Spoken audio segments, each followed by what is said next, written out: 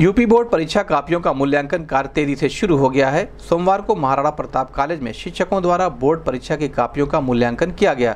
इस दौरान विद्यालय प्रशासन और पुलिस प्रशासन द्वारा सुरक्षा के कड़े बंदोबस्त के बीच मूल्यांकन जारी रहा।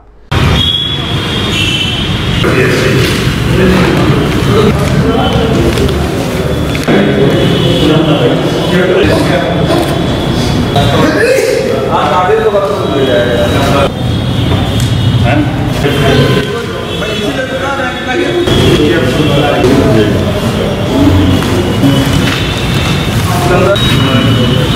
you.